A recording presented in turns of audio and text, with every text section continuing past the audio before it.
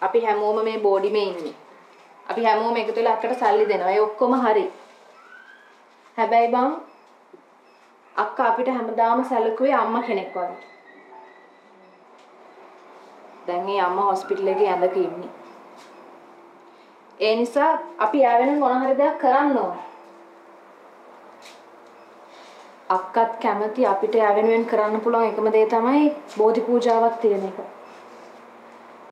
සමහර විට එයාගෙන් බෝධි පූජාවක් තිබ්බ කියලා එයා දැනගත්තාම ගොඩක් සතුටු වෙනවා. ඒක නම් ඇත්ත බං. ඉතින් අපි එහෙම කරමුකෝ. කවද තියෙන්නේ? ඒකයින්දම කරන්න ඕනේ. හිත කියන්නේ අයි බං අක්කර ගොඩක් අමාරුද? අමාරුද නැද්ද කියලා බලන්න ගිහිල්ලා අක්කා බලන්න එපා. ඔබ දන්නවනේ මල් ඉතින් මට තියෙන වැඩ කන්දරාව ඔක්කොම වෙන්නේ ඔන් කෝල්. ඔය ඔන් කෝල් වැඩ ඉතින් කරන ගොඩක් කට්ටිය යාලගේ පෞද්ගලික වැඩත් හොඳට කරගෙන යනවා. ඒ බොරු නම් මේ මේ ඩිස්නිගෙන් අහන්න. ආ මම බොරුද කියන්නේ? BPLද? අයි අයි අයි අයි අයි අයි අයි අයි නාවෙන්නේ.